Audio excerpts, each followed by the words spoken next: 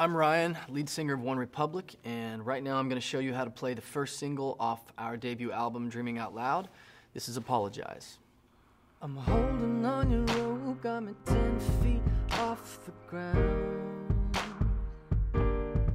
In the chorus to Apologize, I play an arpeggiated pattern. An arpeggio is, is simply a syncopated pattern of broken up notes. It's a to